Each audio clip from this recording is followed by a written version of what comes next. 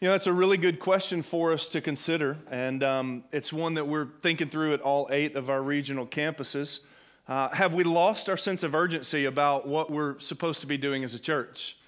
Have we lost our sense of urgency about what we're supposed to be doing as a church? Now, when I say the word urgency, I don't know what you think, uh, but one of my first thoughts about urgency is when I was a teenager and my dad would ask me to do something. Dad may say, Take out the trash. Dad may say, Clean up your room. Dad may say, Come here, I need to talk to you. And I wish I had been more responsive more times than not, but oftentimes it took me a little jump start to get going. And I would hear dad's feet on the hardwood floor, or I would see him across the room get up out of his chair to say it again. And for whatever reason, I now had a sense of urgency about whatever it was I was supposed to do that I did not have before. Now, one of the things that motivated me to have a sense of urgency was an obligation. I need to respect and obey Him. Because by obeying those authority figures in our life, we show God that we trust and obey Him. But I didn't want to just do it out of guilt and obligation, and I don't want to live that way either. If the church has lost its sense of urgency about what we exist to do, and we want to get that back, which I'm going to make the assumption we, we do want to be about what we're supposed to be about. I don't want it to ever be because we feel guilty or obligated or because someone on the platform stood up and called us to respond to something.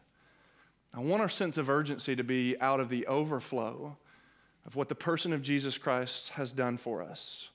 And our motivation to be because he has loved us and empowered us to act on his behalf, that we go so that others might find what we have discovered in Jesus, which has changed everything about our lives. And I want you to see when we talk about a sense of urgency how Jesus said this is one of the most important things for the local church, especially now in North America, to be focused on as we stay focused on the work of his kingdom. Would you stand with me in honor of God's word? And we're going to read from John chapter 9, verses 1 through 11 together. This is a true story from God's word, John chapter 9, and we're going to read verses 1 through 11 together. It says, As he, that's Jesus, was passing by, he saw a man who was blind from birth. His disciples asked him, Rabbi, who sinned, this man or his parents, that he was born blind? Jesus answered, Neither this man nor his parents sinned. This came about so that God's works might be displayed in him. We must do the works of him who sent me while it is day. Night is coming when no one can work. And as long as I am in the world, I am the light of the world. After Jesus said these things, he spit on the ground and made some mud from the saliva. He spread the mud on the man's eyes. Go, Jesus told him, wash in the pool of Siloam, which means sent. So he left, he washed, and he came back seeing. His neighbors and those who had seen him before as a beggar said, Isn't this the one who used to sit begging? Some said, Yes, that's the guy. And others were saying, No, but he looks like him. And he kept saying, I'm the one. So they asked him, Then how were your eyes opened?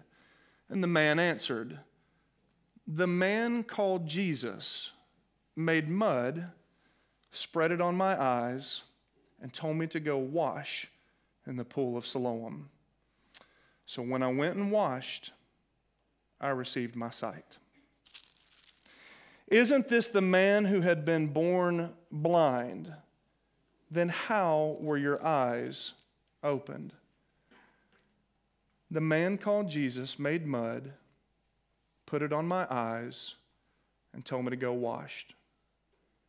I heard Jesus, I believed Jesus, and I received my sight. Lord God, we ask that you would speak in a way that our hearts and minds can hear from you clearly, because that's our greatest desire in this moment. We say this and pray this in Jesus' name. And all God's people said, Amen. Amen. Amen.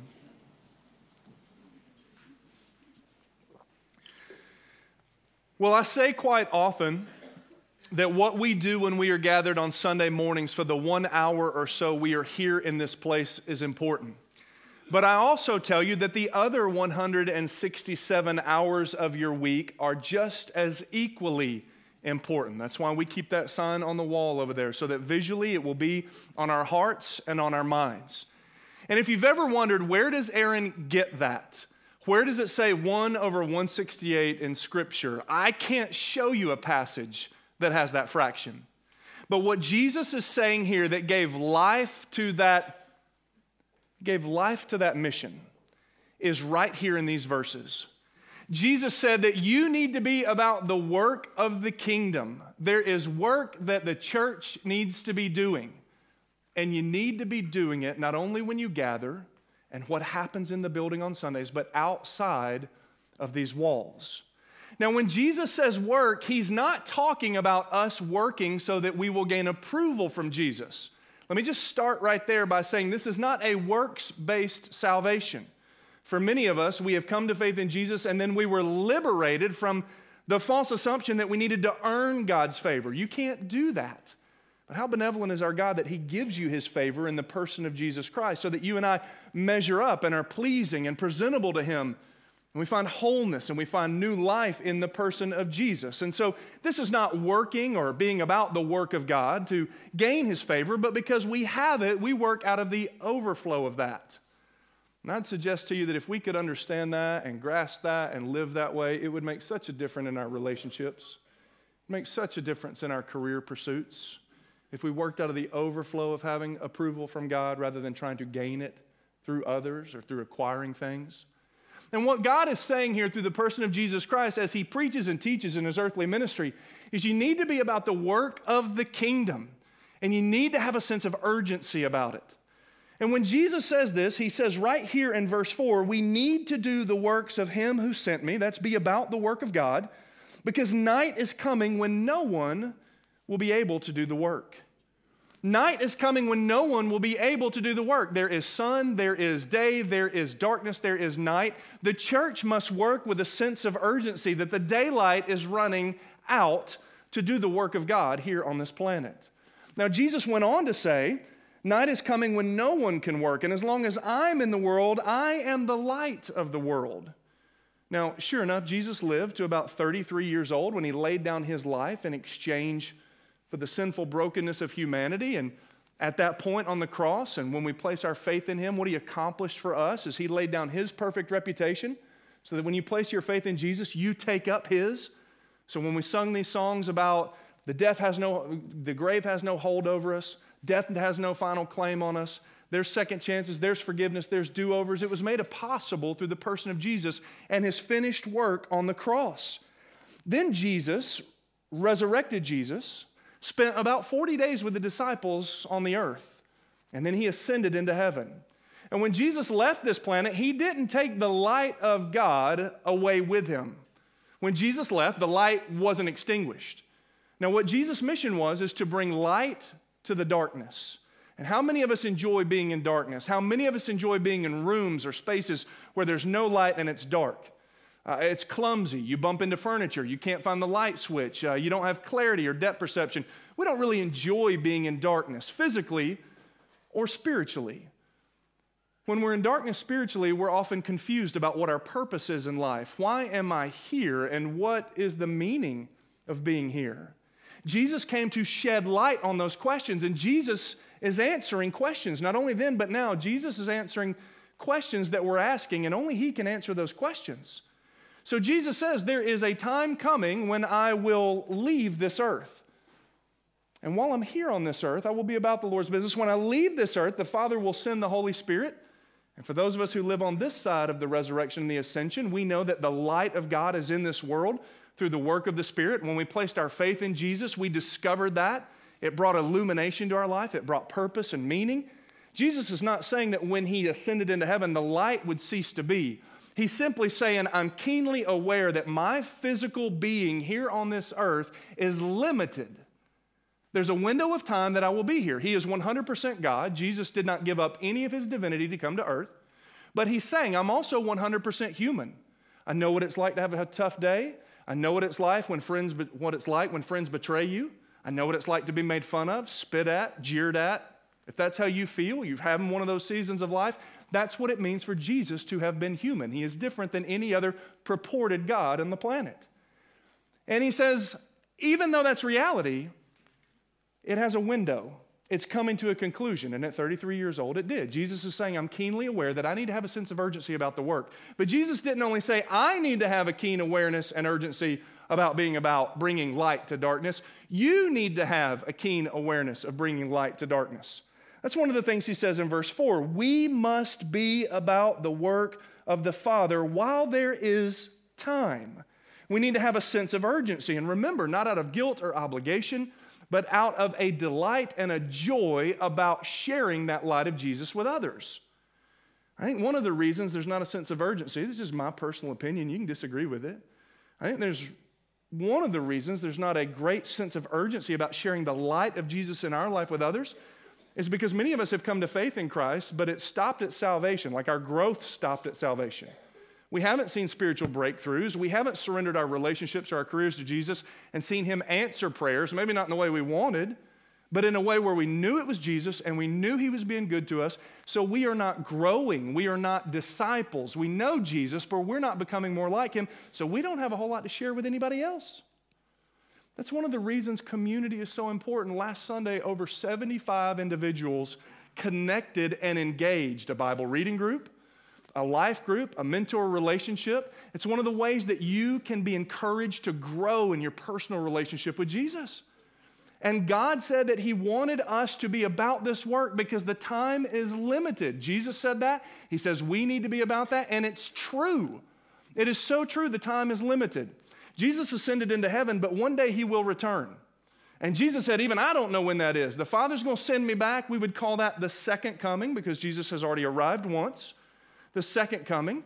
And sometimes in our car or at the home around the breakfast table, it recently happened with my daughter. She said, What will that be like? What will that be like? Like which sky, which area of town? Will the clouds part? Will there be noises? Will we ascend into heaven? Will our neighbors think we're weirdos? Like what's going to happen? Now, my first thought was can, can, can we just eat our cereal first? Buy me a little bit of time to think about how I want to respond to that deeply theological question. But I was able to say quickly, yes, that's going to happen because everything else Jesus has promised us has come to fruition. That too will happen. And when it does, that will limit the ability moving forward for us to share the light of Jesus with others.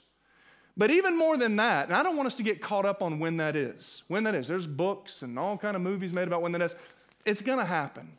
But maybe even more than that, you and I are not guaranteed the, the next 24 hour period. We're not guaranteed when that finite window of life will come to a conclusion. I think James, a follower of Jesus Christ in the New Testament, said this really well.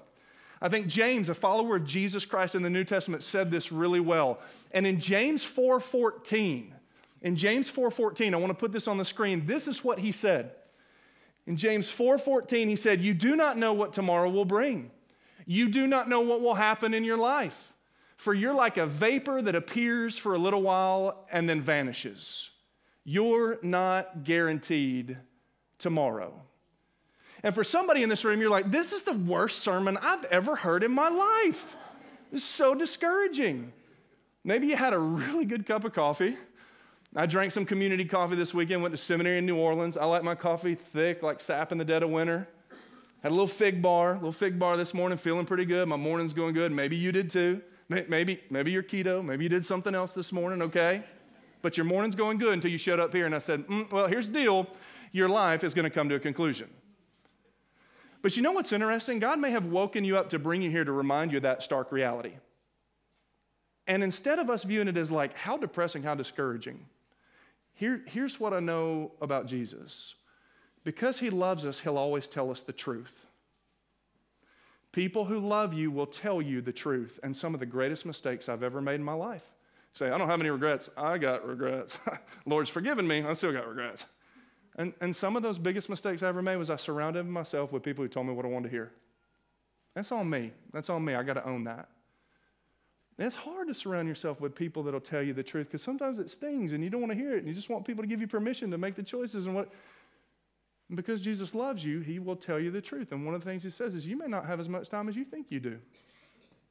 I know someone who was killed in a car wreck last weekend. I'm pretty sure when they got in the car, they weren't thinking, this is it. I don't say that to scare you.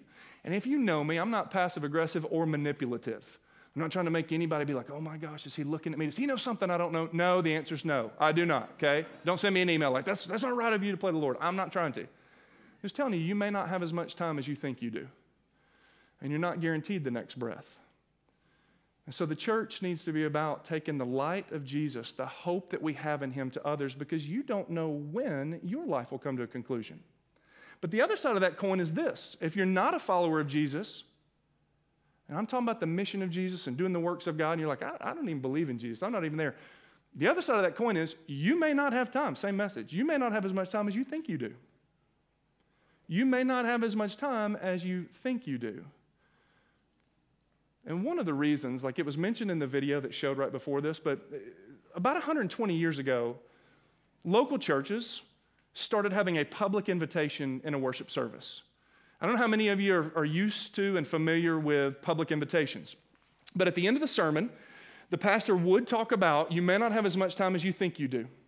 And if you do not know Jesus, you will be separated him from eternity for all eternity from the love of God and He will honor your decision not to choose to follow Him. That's one of the hardest realities about the person of Jesus. It's also one of the most loving realities about Jesus. He will not force you to love Him. And by the way, I mean, do you really want anybody to love you because you forced them to? No. There's even a story about a rich young ruler who asked Jesus, What do I need to do? And Jesus tells him, and he's like, Oh, that's hard. that's hard. I don't know if I want to do that. And Jesus, this is, this is sad, but it's truthful. Jesus let this guy walk away. And even if you don't choose to follow Jesus, you got to appreciate and respect the reality that He won't force somebody, He won't manipulate them to choose Him. And so, pastors would literally, at the end of the service, they'd come down and they'd stand in front of the congregation. And everyone would sing, and, and for the song of response, the pastor would be down front. And as they sung, he was waiting to receive anyone who said, I don't want to leave this room without getting right with Jesus. I got some stuff going on, I need to talk to somebody. Now, when I was in middle school, and it hasn't changed, I'm 40, 42, 42. I almost forgot how old I was. I'm 42. Like it's going already, right? Whether I was 12, 22, 32, or 42, like I, I, I'd be in a service, somebody does that, and the pastor would look at me, and I'd be like, oh my gosh, he's looking at me. What does he know that I don't know? Like, oh my gosh, don't look at me, don't look at me. And so I'd look away. I don't know if that fact mortifies you a public invitation. I don't know if you feel like it ain't no way I'm stepping out in front of everybody and walking down there, even if I wanted to. That, that's Bible talks about spiritual warfare. It's legit. Because the enemy would rather you be quiet. He is like a lion that just roars around looking for prey to pick off. And if he can isolate you, anybody watch National Geographic? Anybody? right? Anybody binge watching that instead of tidying up? Anybody? Anybody watching National? Yeah, I watch it too. I've been watching Netflix. Yeah, all right. But you keeping things inside, not sharing with anybody, and just dying inside because you're afraid what other people will think or embarrassed that somebody might know you're working through an issue. Guess what? I got issues too. Everybody in this room is broken and flawed. The question is to what extent and because of what choices. And then we work forward from there. But the pastor would stand here, and, and so he, as we would sing, he would look. And, you know, we kind of moved away from that in churches. Like, we don't technically do that here. People do respond in faith. Last Sunday, Last Sunday, somebody came to faith in Christ. Throughout the week, the six days in between Sunday services, people are coming to faith in Jesus Christ to this congregation. So that is happening. We praise God for that. But the reason we kind of moved away from it is because oftentimes in some churches, pastors unintentionally or intentionally let that chorus go on three verses and four verses and five verses and 88 verses till somebody responded. And many of us grew up in churches where you nudge your friend, you're like, somebody make a decision today so we can all go home. I think that's why some churches moved away from it because it, it did turn manipulative, not all, and I, am not criticizing it, but it, it was guilt based maybe. I get that. But I also want to tell you this I think in the process of moving away from that, we muted the urgency of the moment. we muted and undermined the urgency of the moment that you're not guaranteed tomorrow. And even if you stand right here as a pastor and no one comes forward, still standing here to lock eyes with the congregation and for us to think at the same moment, at the same time in worship, we need to be about the Lord's business. We're not guaranteed tomorrow. I need to respond in faith to what God calls me to do. I'm not guaranteed tomorrow. I don't want to put this off because, by the way, if you don't respond in the room, the percentages drop precipitously that you'll actually do something with what you intend to do. I give you Exhibit A. I used to sign up for small groups at churches when I was in college, and on Sunday, pastor would make a moving sermon, and I'd know I need to be in biblical community. I'd sign up, and then like the staff would reach out, and I'd like ghost them. Oh my gosh, it felt so much better on Sunday. I was like worked up in the spirit, like I really got to commit now. If anyone's ever done that, and you have ghosted our emails, no judgment, but I give you Exhibit A. Flesh being what it is, we, we don't want to hold to our commitment that felt, didn't only feel right, we knew it was right in the moment. I wonder if we got away from the urgency because we don't practice things like that. But I want to show you what happened. Not only that we need to realize that the moment calls for action, but just look at the blind man. Just look at the blind man and what he did. Jesus says to him, Go wash in the pool of Siloam. Go wash in the pool of Siloam. And the man left, he washed, and he came back seeing. He left, he washed, and he came back seeing. He most likely didn't have all his questions answered. He might have had questions like, Why mud? That's so weird. I can't see anyway, buddy. like, what's going on? He may have questions. He might have had concerns. He might have thought, This is weird. I do that too sometimes. Why does Jesus say this? Why did he choose to do this and not that? But like all Jesus says is, I came to bring light to darkness. And by the way, throughout the book of John, every time Jesus heals somebody, when he meets a physical need, it's to address a spiritual problem that's greater and bigger. Jesus will often address a physical need for the purpose, he'll always address a physical need for the purpose of helping resolve and address a spiritual problem. Because the man may be physically blind, but as best we can tell, he doesn't know Jesus before this moment. Doesn't know Jesus before this moment. And what if Jesus answered every one of our prayers in this room? And they're legit. I'm not minimizing any of them. They're legit. Maybe it is a physical infirmity. Maybe it's sight. Maybe it's well being. Maybe it's an answered prayer. What if Jesus answered all of that, but we don't know him spiritually and we don't have any greater confidence, joy, excitement, meaning, or purpose in this life? But Jesus addressed what we asked him for, but we didn't get what our soul needed, which was to be made whole. To be made whole, to be made well spiritually because this body will come to a conclusion on this earth, but our soul will live forever. And what God wants is to be in relationship with us for all eternity, not only now, but in the life to come. And so Jesus heals this man. And the man had a lot of questions, and it wasn't convenient to run to the pool of Siloam, but he did it. And he comes back seeing. And when he comes back, by the way, if you do what Jesus asked you to do, there will be naysayers. There will be people that would love to criticize your obedience. And the line between faith and insanity sometimes is razor thin. Did Jesus really ask me to move to Seoul, South Korea to be on mission with him? Our preschool and children's minister is literally planning and preparing next month to move to Seoul, South Korea to go into full time global missions. Did God really ask me to start this Bible study in my workplace? There are women and men in this room who have started gospel centered Bible studies that have brought hope and meaning to people that might not have ever come into a worship service. You're like, did God really call me to do this? And there'll be people like, oh, they're all religious, they're all pious. She missed the calling. Like, if you choose to respond to Jesus, there will be people that will be critical. And this guy is healed. He can see. And people are like, Who did this to you? Who did this to you? By what authority? And who allowed this?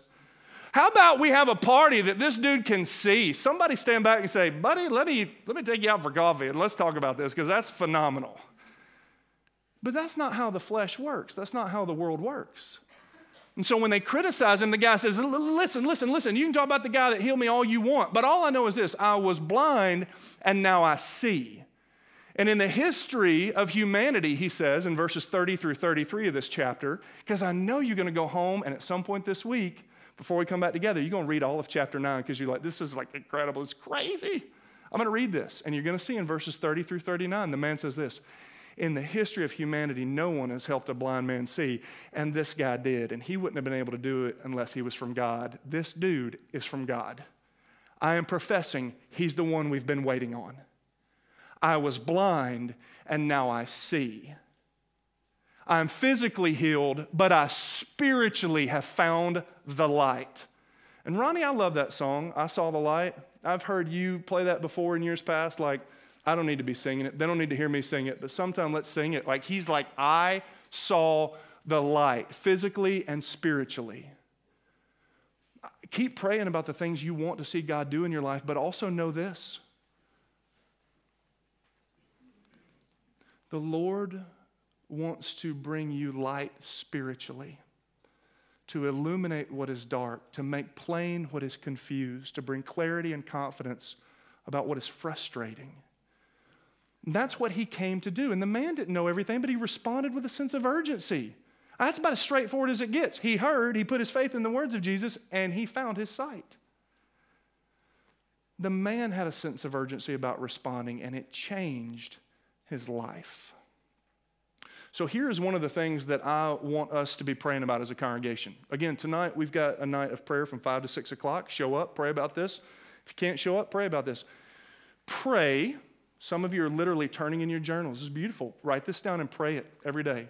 Pray that this congregation would have a sense of urgency about taking the light of Jesus to others because we're not guaranteed tomorrow and they aren't either. Pray about that. Pray that we as a congregation would not be motivated by guilt or obligation and I'm going to say this, this applies to me. I'm not preaching to you, I'm talking about me. I, I pray that I would want to do that because I have been, I, I'm, I'm jacked up and flawed apart from Jesus. I know where my life goes without Him in my life. And I am going to pray that I will be compelled with a sense of urgency about the mission of God because I have been washed in the blood of a perfect Savior who cleaned me up, presented me to His Father, and said, Look at Him. He's got my reputation. He now has my righteousness. He has been brought close to you again. And now I can encourage others to find that in Jesus as well. I pray that that's why we would do that. Pray for those things. But here's what I'm going to ask you to do pray this as well. Pray that any woman or man in this congregation who's leaning in, dusting for God's fingerprints in their life, that they would hear the call of Jesus on their life and respond. Pray that people would respond to the ministry and the message of Jesus. Pray that. If you're not praying for the salvation of people who are lost, you need to. You need to be praying about that. 1.2, 1.7, 1.8. I hear a new number every week about how many people live in Nashville. Next week, somebody's going to be like, there are 10 million people here. Did you know that? Like, whatever, man. We just know there's a lot. but we also know that any metric you want to look at, about 75 to 85% of the people in Nashville do not believe in Jesus. They do not know him. They're looking for physical healing, but they also lack spiritual healing. And we desire for them to know Jesus and to discover what we have. So pray for people who do not know him. Well, I think that would be a great thing to do right now. I think that would be a great thing to do right now as a congregation. So let me encourage you to bow your head and close your eyes for just a moment.